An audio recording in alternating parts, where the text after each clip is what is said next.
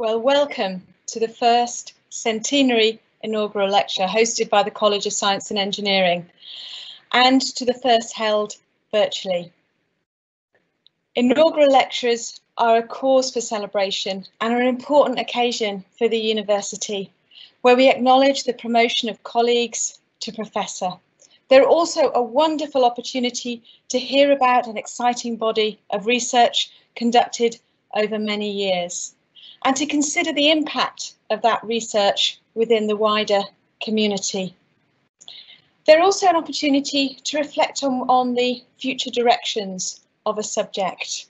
And I know that colleagues are joining us from locally and from around the world um, to hear the lecture. I'm really looking forward to hearing more from Zhou, but before then, please can I ask Professor Lu Liu the head of School of Informatics, to introduce our inaugural speaker, Professor Zhou Zhu. Uh, good evening. I'm Professor Lu Liu, head of Schools uh, of Informatics. Uh, first of all, I would like to briefly introduce my colleague, Professor Zhou, to you. Professor Huiyu Zhou received a Bachelor of Engineering degrees in radio technology from Huazhong University of Science and Technology, China and Master of Science degrees in biomedical engineering from University of Dundee. He was awarded a PhD in computer vision from Heriot Watt University's Edinburgh. Professor Zhou is currently a full-time professor at the University of Leicester. He has published over 300 peer-reviewed papers in his field. He was the recipient of the several prestigious international awards. Professor Zhou is also serving as editor-in-chief of recent Advance in Electrical and Electronic Engineering. He's associate uh, editor for a number of the reputable journals. He has given over 100 invited talks at international conferences, industries, and university. He has uh, served as a chair for 70 international conferences and workshops, and his research work has been supported by UK Research Council and leading industries. I'm not going to take more time. Now I would like to invite Professor Zhou to deliver his lectures entitled Dealing with Uncertainty in Image Analysis. Thank you, Sarah. Thank you, Lu, for introducing me to the audience. I'm going to share my slides here.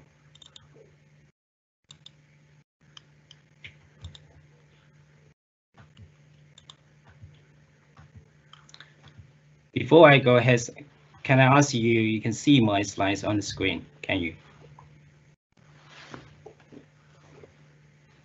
Okay, and I also like to thank that Woody guests to come today for these uh, inaugural lectures. And my name is Zhou from the School of Informatics. Today, the, the titles of my talk is uh, Dealing with an Uncertainty in Image Analysis. To improve the interaction between you and me, I'd like to start with the questions here. And hopefully you can help me to do this exercise. And these questions is like this. Do these the flowers belong to the same class? I'm going to give you the 10 seconds to, to finish this exercise. After the 10 seconds, I'm going to review the answers to you.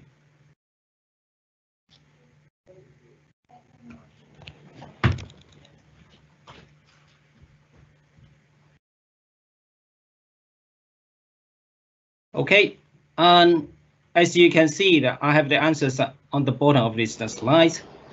On the left hand side, we have the iris versicolor. In the middle, so we have this uh, iris setosa. Uh, on the right hand side, we have the iris virginica. Obviously, they belong to the different classes. Usually, when we look at the flowers, what kind of um, features or descriptors we can use to identify individuals the flowers? Um, we usually rely on the, the couple of uh, key organs here. And one is called a petal, the other one is a sepal. And when we look at these flowers, uh, we mainly measure the petals, the length and width, and the sepals length and width as well. to generalize this thing, flowers case to two different objects, we would consider as a mathematical, mathematical terminology, if you like. Uh, this is called as a classification model. Uh, normally, in this case, um, I'm going to use the example naive Bayes to convince you and from now on. And for those people who don't have any ideas about the naive Bayes, and I'm going to show you these uh, equations.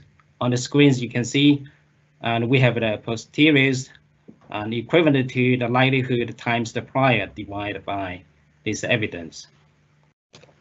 To give it more details on the posteriors that refers to the probability of unknowns quantity. In our case, we were talking about the flower, so the quantity here is the flower. And the likelihood is the, is the probability of the best guess on the flower. The priors is the probability of our belief on the unknown quantity, which is unknown flower. And the evidence is the probability of the observation. In our case, that's the flower image. So for those the people who really enjoys mathematics, I'm going to give you the more uh, details here. And before I give you the details, I'd like to say give you some of the notation. The CJs refers to one of the three the flowers classes. Uh, in our flower cases, we have the three different classes.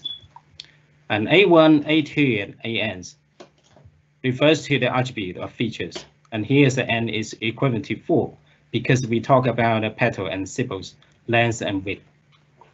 So um, I'm going to use the highlighter here, and hopefully that's the helpness. Okay. And if we want to estimate the flowers classes probability given the four attributes of features. And this is uh, refers to the posteriors. And then we're going to calculate the likelihood using this uh, um, equation. And given the CJ, we're going to calculate the probability of AI. This is the for the likelihood. And in terms of the priors, uh, we're going to have that is uh, CJ is the probability. And the evidence is the joint probability of A1 to AN. So some people may ask me, and we have such the classification model, and that's the beautiful mathematics. However, can we really use this the classification and apply this the classification model or the mathematical and equations that two different images analysis task? Yes, we can. Um, we're going to show you a few examples using Bayes. The first example is called an object detection. What we actually do is um, we continuously compare the region of interest against the template by sliding the windows. On the right hand side, you can see that we continuously slide this the green window from top to bottom in order to detect the phase of odors that happen. And some people may see that I got some reference, reference on the bottom. And this is about the, outpost detection in SAR images using um, Bayes system. The second example is uh, related to the object tracking. Um, the target is to select the areas that most similar to the regions of our interest. On the right hand side, so we have the three human subjects walking around, and then what we do is uh, we wish to continuously track these three persons in this uh, cluster environment. The job is not that easy in terms of the image analysis because uh, we continuously suffer from the occlusion. Um, this type of works that uh, and we already published it on the 2020 the TIP. In that case, though, we were investigating grayscale thermal tracking using sparse representation. The next example is about the image segmentation. What is the image segmentation here? Image segmentation is we wish to assign image pixels to, to the label groups with the similar characteristics. On the right hand side, I'm going to use the, one of the examples here. And when you look at these uh, second columns, we wish to segment this the motorcycle from the background.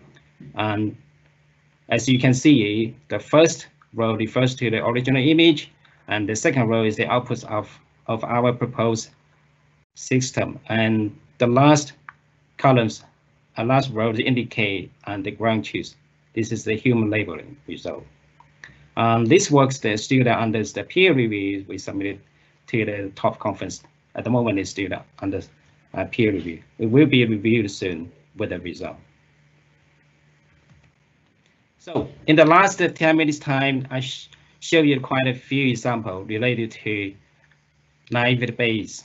And probably you ask me that, can we generalize all these examples to the different category and so on and so forth. And in this talk, because the time limits, I only be able to show you the three use cases, video surveillance and animals modeling and remote sensing. For each use cases, I have three or four subtasks.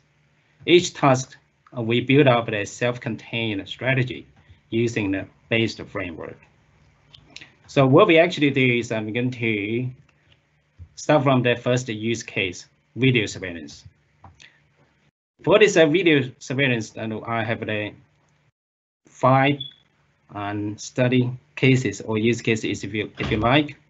We start from the gender recognition and age classification, and followed by the human detection and tracking.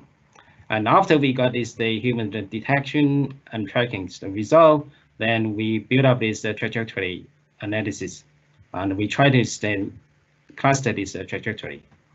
And afterwards, then we used some um, system called a event detection system to wrap up all the components we have done so far. I'd like to stay, give you the motivation why we do this work, with video surveillance. In 2020, um, in the UK, we have around 5.2 million cameras.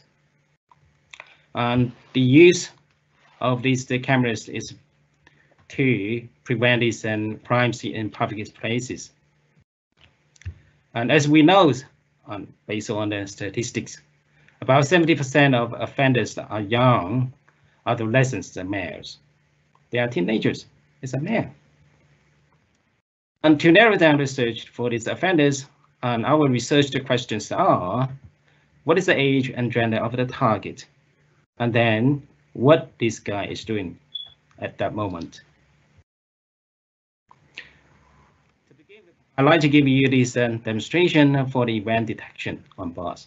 This work was conducted uh, when I was working in Queen's University of Belfast. As you can see, one male passenger boarded the bus and came into this the bus cage, and then you can see the red dots that on the screen is showing the, the seat number. On the right hand side, the bottom, you can see on the gender and the seat number showing on the screen. And later on, the female passengers coming on board, and the male passengers that uh, come forward and sit beside her. And on the right the left hand side, you can see these two red squares showing that the two passengers they sit by side by side.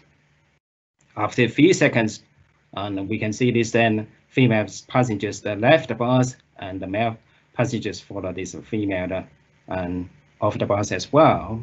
And on the bottom of the left hand side, you can see that we have this uh, and composites the events that pop up that the passengers see intimidation. And that just uh, simulates that what's going on here. It's the real case. And what we actually see from this demo is, and as you can see, that we have quite a few components that play in the place. And one is the and gender classification and also trajectory analysis and on and off the bus. And then we also know uh, whether or not the person's the sit down or just uh, coming to the other different seat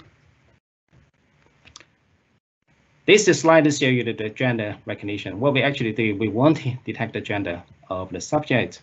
On the left-hand side, I show you this that demo. Um, this demo actually can be split into the three different stages. The first stage is show you that It seems to be a male walking, isn't it? And the second stage is show you there's something not sure. Maybe it's the male, maybe it's not. Maybe it's a female. And the third stage, obviously, is linked with the females walking. As I said before, um, in the second stage, and there's a transition and you're not sure this is a male or female walking. And we want to uh, identify this is uh, definitely is the male or female. We want to know that, how to do that. And in our approach, what we're supposed to do is that we want to consider the different attributes. And the different attributes include uh, on the first row of, the, of your right hand side, uh, you can see that uh, we pick up the full body of the individual subject. And then I'm not sure that you can see this and the we have this the body gradients. Um, we also have the uh, we have the two the female and male subject, and then we have the bodies gradients on top of this the slides. And then on the bottom of this slides, we have this histogram of principal components analysis. And this is the, from the face area of the two individuals the subject. We basically just combine these um, face measurements and the full body measurements in the boosting the framework in order to improve the classification outcome. Previously, we talked about the gender recognition. Now we come to this uh, age classification. And the age classification uh, task is meant to be allow us to, to identify the age of the subject. On the screens that you can see we have the, on the first row, we have the four different images. And these are four different images that related to the months, four years, seven years, and 14 years for the same subject. On the second row, as you can see that we apply these difference of a Gaussian. The reason why we do that because we want to remove the lighting then and impact. On the third rows of this, and we can see this is the outcome of a Radon transform. The reason why we do this a Radon transform because we want to remove the rotations, the, impact in, in the same place that rotation, okay? And the last row, it shows the support vector machines the classification outcome with a feature selection. We only select those the features that positively contribute to this age classification.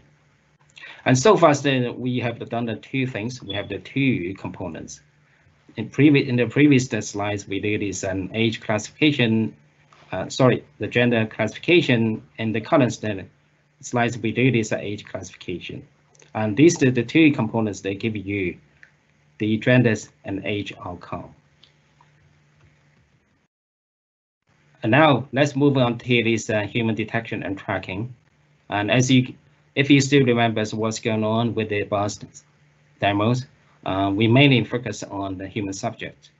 And on these the present slides, how are we going to do this uh, human detection and tracking?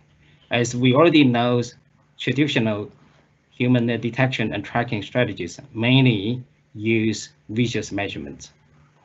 On the screen here, the first row and the second row is the outcome of the two visual measurement based strategies. One is called a particle the filter, the other one is called a graph matching strategies. And if you can take a close look at these the images, in the middle of these images, you can see when these subjects hide themselves behind the barrier, and this the particle and graph that the models will not be able to pick this the subject up. Why? Because we lost the visual contact. How are we going to do that? And once these the subjects that mainly sound audios behind the barrier, then we can apply the audio detection. And we use it is the time of the arrival strategy to detect the audios. And our strategy has the novelty of combining these visual measurements with the audio detection in the particle filter and then produce the better the outcome. As you can see, so on the last row, in the middle of the images, and we pick up these then subjects as well, because then these guys that uh, make the same uh, audios that behind the barrier, and then we can pick them up.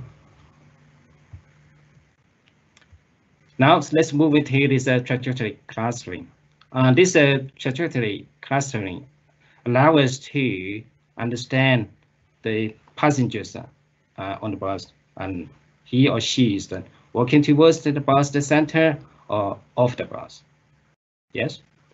On the screens on the left hand side, you can see we have four different trajectory indicated by different color. The red color, pink color, and green color, and the blue color. And usually when the people want to identify the different uh, working trajectory, then they can use the different features. The first features we can use it is the distance the difference features. We only look at the distance distance between the two neighbors the samples.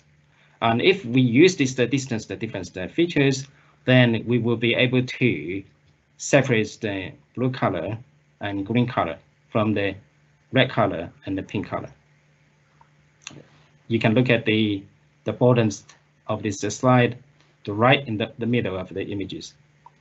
On the other case, and if we use the directions deviation the features, we look at the direction of each the trajectory, and then as you can see, we can separate the red colors from blue color, green color, and the pink color. So you probably ask yourself, and if I have the many, many different features, why not just combine all these features together and then I can produce a much satisfactory result?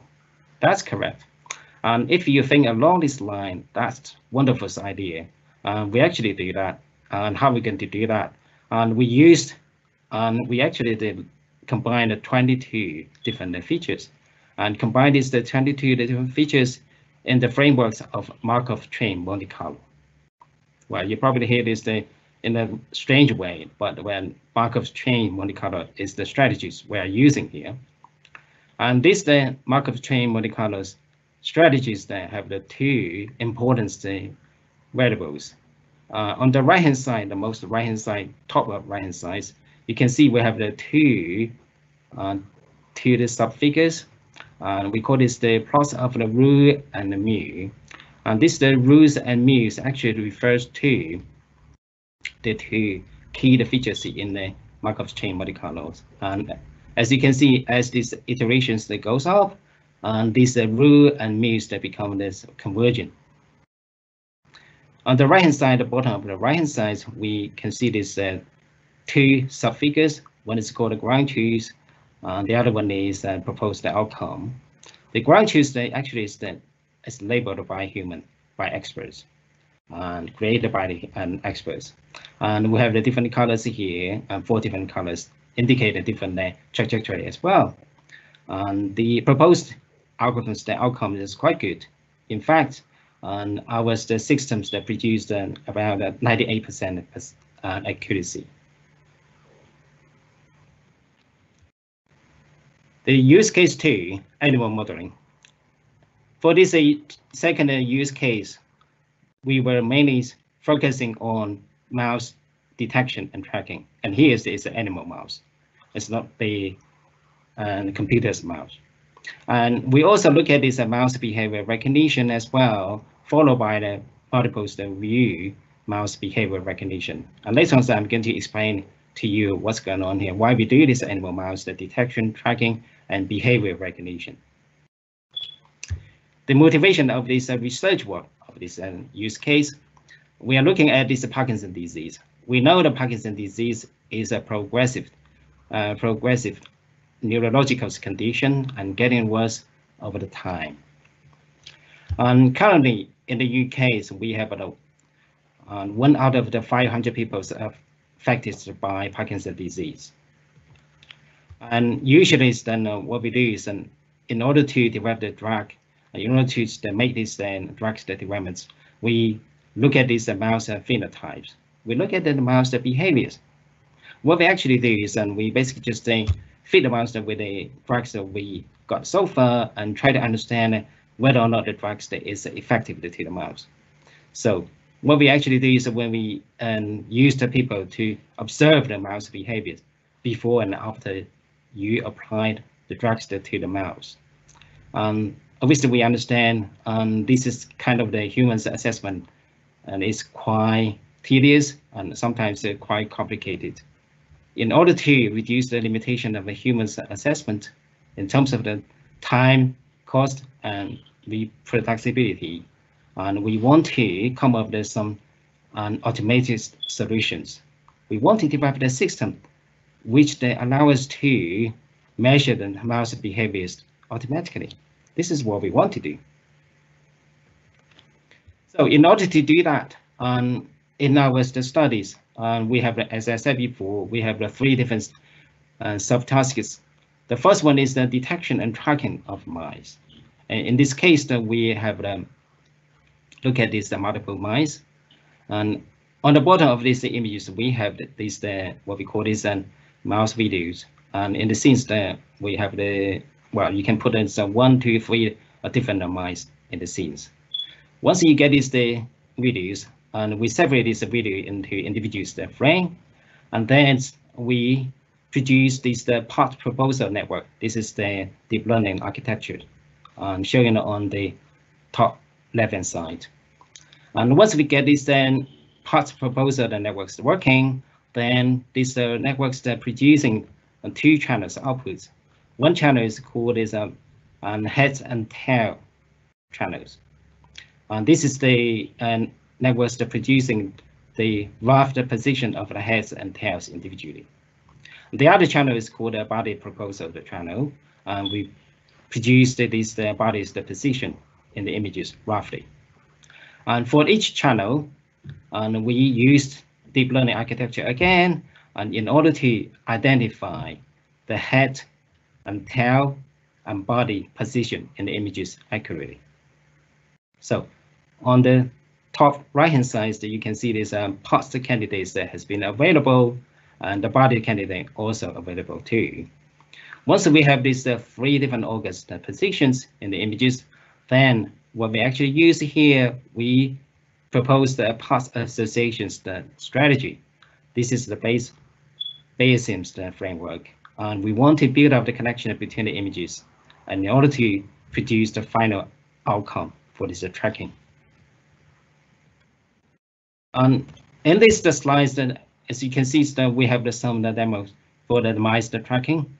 In the sense we have the three different mice, and then and what we actually do is and we want to stay track continuously track the individual mice, and we want to estimate the which and strategy strategy produce the best outcome. On the first row, on the left hand side, we have the ground truth. Uh, this is provided by the human experts. experts. And on the right hand side, top right hand side, this is the outcome of, of our proposed strategy. On the bottom, we have the two legacy technologies outcome. And if you carefully look at this color, and obviously you can see the, color of the ground truth and the color of the proposed algorithms is quite similar. So that means then these are two outcomes that looks very close indicating our proposed system performs much better than the legacy technologies here. So the next uh, subtask we're going to introduce here is a mouse behavior recognition. Um, in terms of the machine learning, uh, the new contribution in this case is we want to identify the mouse behaviors continuously for each image. So and here so we propose a new hidden Markov models. And these the hidden Markov models are working in such way. And these the models that need require the two probability to support. One probability is called a transition probability. The other one is called an emission probability. The transitions the probability you can get is the outcomes from the images itself. And the images is the video of the mouse motion. Okay, so what we actually do is that on the bottom of these the slides, I show this the video sequences coming in. Once we get this the mouse videos coming in, this is only refers to the one single mouse. I have to remind you here. And we separate these the videos into the frame by frame. And once we get this uh, frame by frames, and then we separate into the two channels. The left hand left hand side channel, you can see we extract the interest points that and then we get these uh, visual features and followed by the Gaussian mixture model in order to produce the feature vector for these uh, visual features. On the right hand side, then we make this the frame difference thing working, and then we produce contextual features, followed by the Gaussian mixture model. And also we produce the features, the vector as well. But compare these the two different feature vectors. The left-hand side, we uh, we call this as feature uh, visual features. On the right-hand side, we call this the contextual features. Once we got these the two different feature vectors, we put them into the segments, the aggregated network. This is the light deep learning architecture we proposed for this particular work. And then these segments, the aggregated networks produce emission probability using the Bayes rules. To look at the, the outcome of this the proposed approach, um, on the screen I showed the table. Um, probably we don't need to discuss the one by one. And on the screen, um, we can see this IDT and TDT on the left left-hand side. We also show you the hours and combined strategies. And this is the four different strategies. And the combined strategy indicates we combine the hours with the traditional IDT and TDT um, individually. And on the right-hand side, but most the right-hand side is that you can see these uh, bold colors indicating the outcome of the proposed system. Um, if you look at the combined outcomes, it can achieve 97.9% compared to Dollar and Jhuang, which is seen on the bottom of this slide. And they are using the vector machine to produce the accuracy. And as you can see, that our strategies achieved a 97.9 percentages accuracy, which means that our system is much better. So let's come to this demo.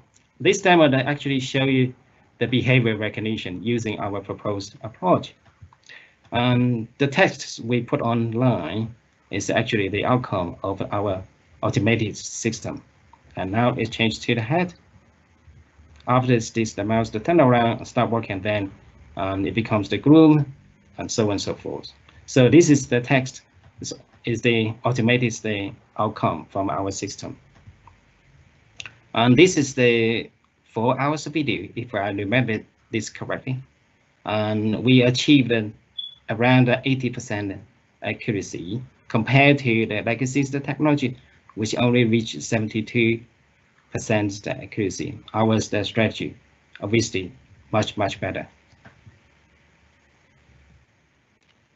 Okay, um, now let's look at this uh, multi-views um, mouse behavior recognition. As I said before, um, um, in the previous slides, we talked about a single views mouse behavior recognition.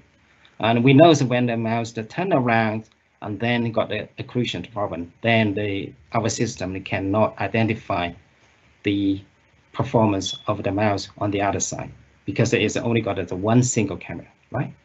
So now so let's look at this the multi-views mouse behavior recognition. We use the three cameras actually in our system.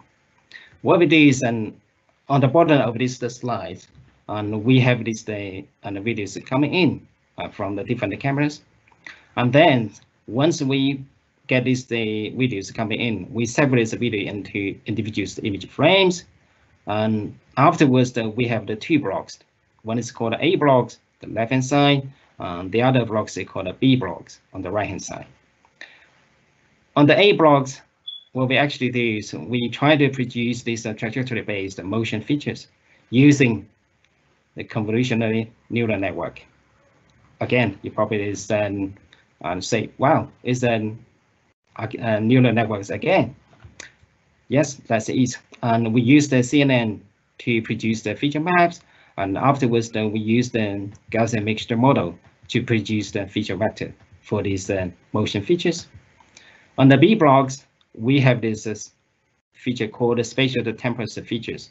And we already indicate, explain these the spatial temporal features in the previous slide. So actually it's produced uh, the features, features and contextual features as well. And suppose that we have uh, these uh, three features, the vectors ready. One is a motion feature, one is um, visual vector uh, features, and then the, the other one is uh, contextual features. And then we send these three different uh, visual vectors into the graphical models, which is shown on the top left-hand side. And then after these uh, graphical models, uh, we produce ethograms. What is the ethogram here? And ethograms indicate the plots of uh, social behaviors against time.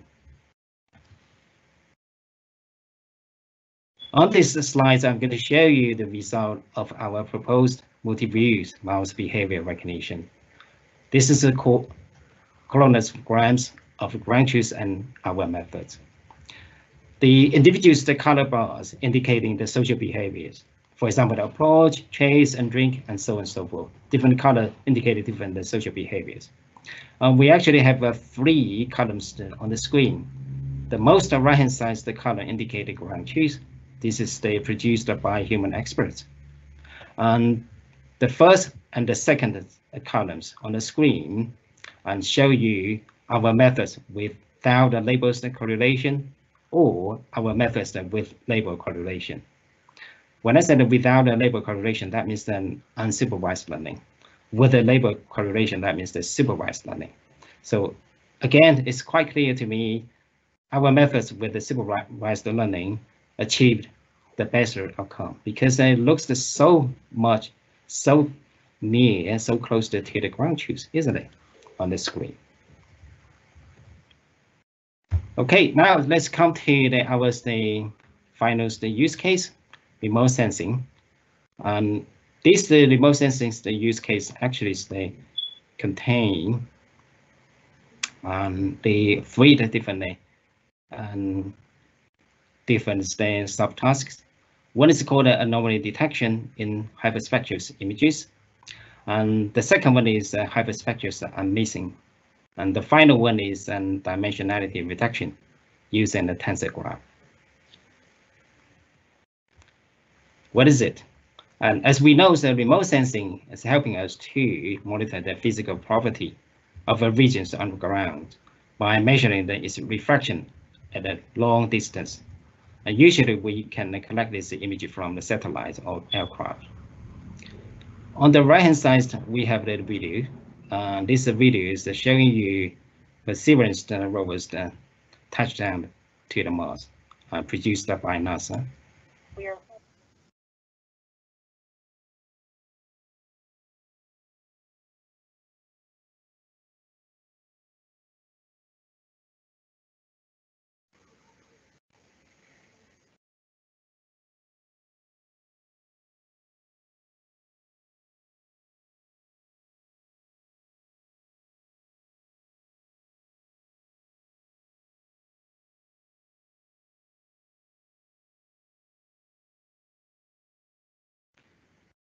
That's great movie, isn't it? And that shows that our then and NASA's um, rovers already touched down to the Mars. And in the first subtask, what we do is uh, we do this uh, anomaly detection in hyperspectral images. The goal of this work is to detect the targets of interest or anomaly different from the contextual clues in the scene. So you probably ask me, you know, what is the strategy? Why this strategy is new. And we actually then construct the two well-designed dictionary here. One is called a background and one is called a potentials anomaly dictionary.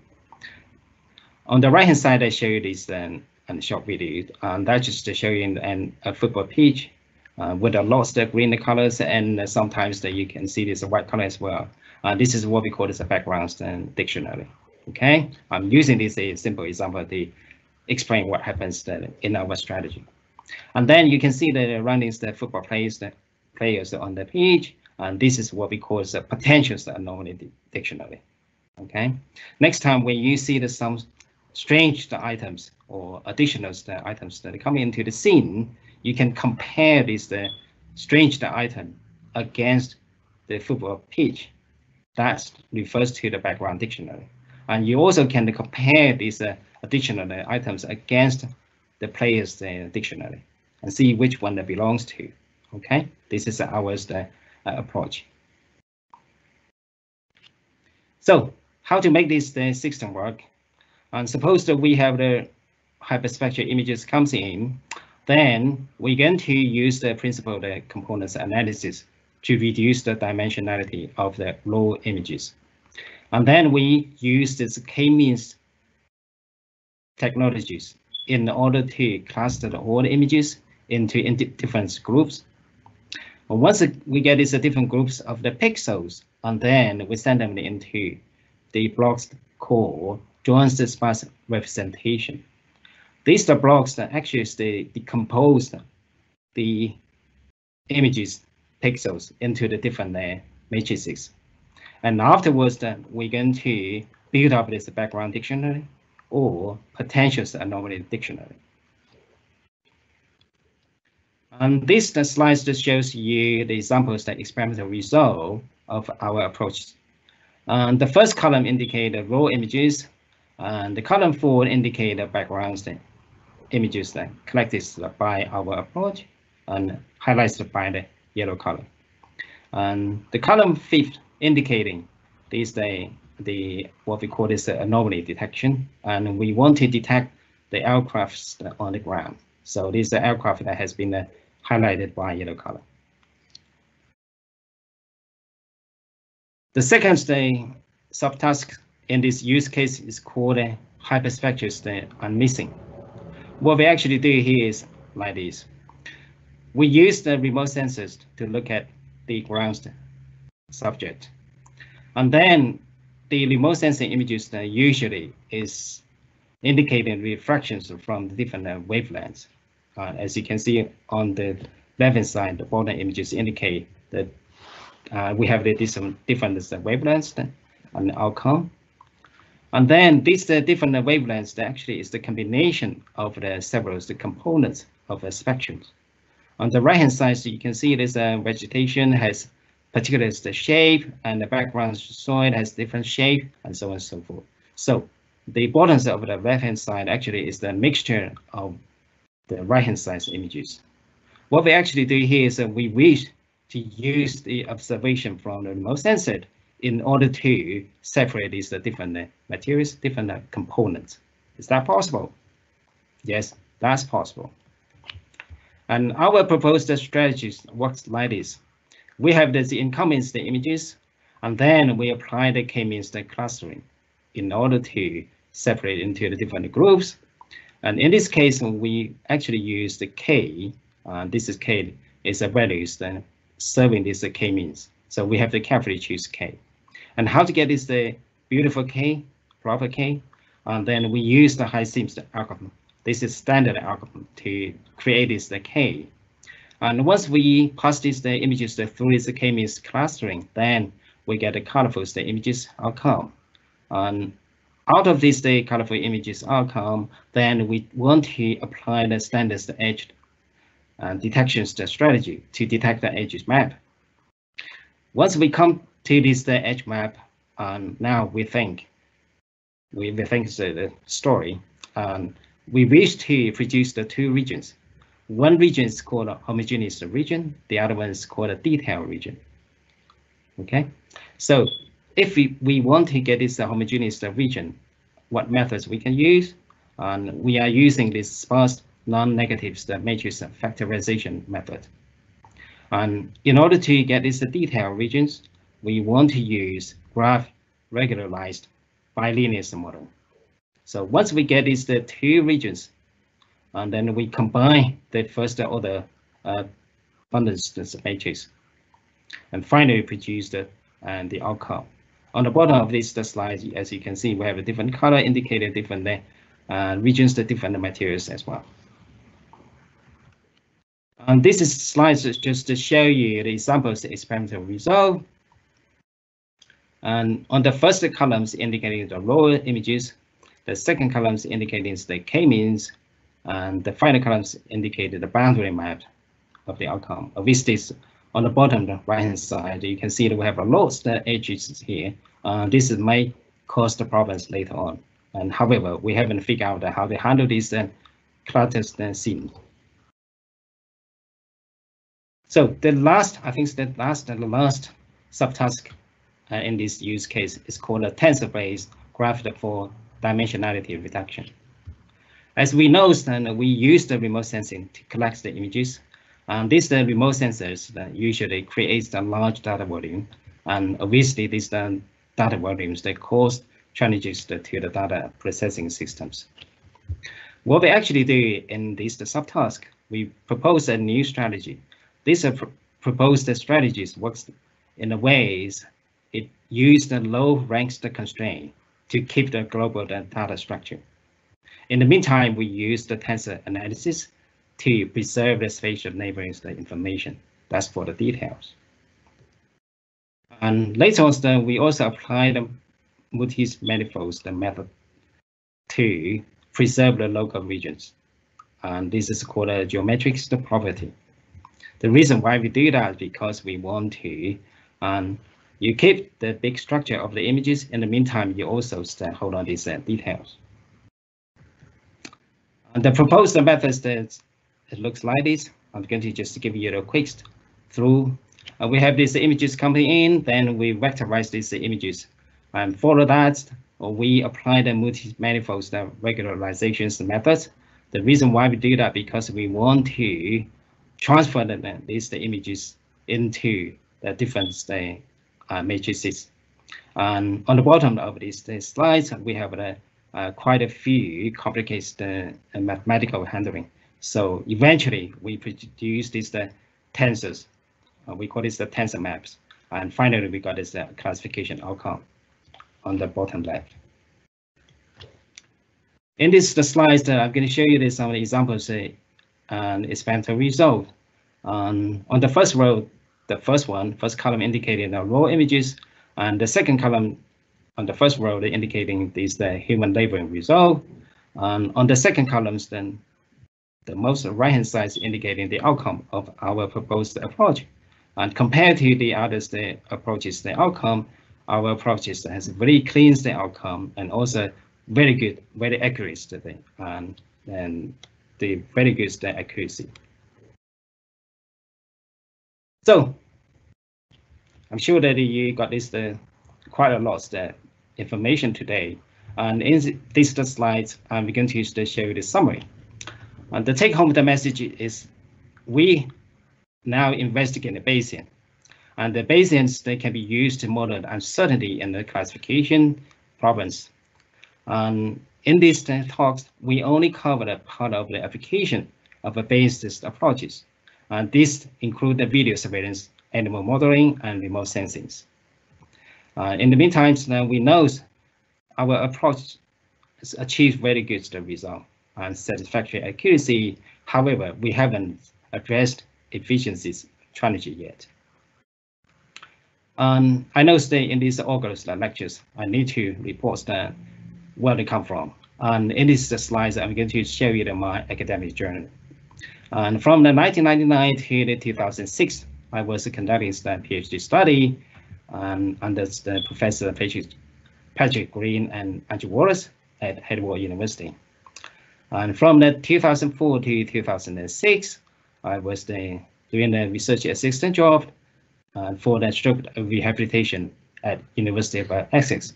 At that time, I was working with the Professor Hu.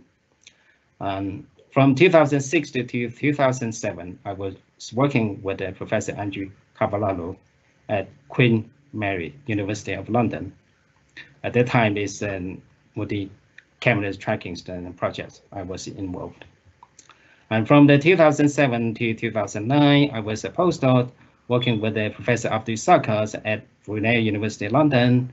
At that time, that, that was the EU project entitled the retrieval of multimedia semantic units for enhanced reusability. From 2009 to 2012, I was a research engineer working at Center for Secure Information Technologies and under the supervision of uh, Dr. Paul Miller at Queen's University Belfast.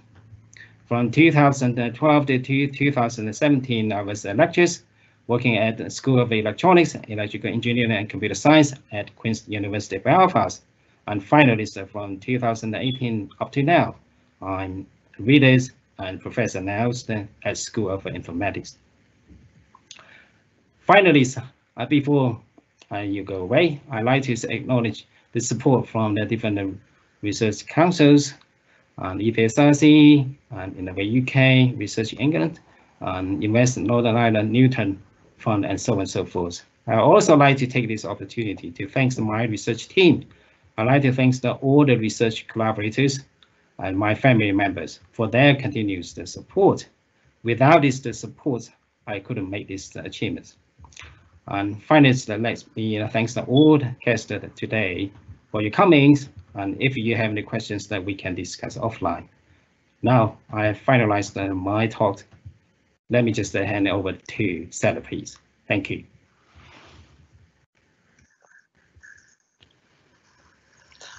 Well, thank you very much, Zhou, for that enlightening inaugural lecture.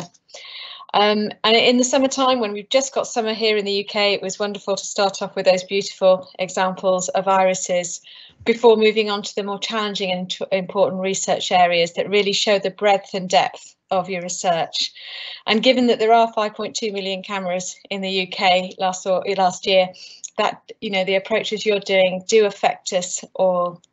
And I think the range of approaches you demonstrated indicates the complexity required in that image analysis and that detection tracking. And it was wonderful to, as well to see um, how your work is impacting on um, understanding the assessment and improving on the limitations of human assessment of things like Parkinson's disease. As you'll know, remote sensing and earth observation have a long history here at Leicester and the downstream applications of EO data and the interpretation of those images will be really important for a whole um, raft of achievements and things that we need to do using that remote sensing data. So thank you very much again for your talk. As is customary, as you've mentioned, there are no questions following inaugural, so those of us that do have uh, questions will be able to discuss with you offline and hopefully in person in, in the future. So all that remains for me to do is to say thank you very much well done, and many, many congratulations, Zhou, on your promotion to professor here at the University of Leicester and for presenting to us your fantastic body of research. Thank you. And to all our listeners and viewers, good night.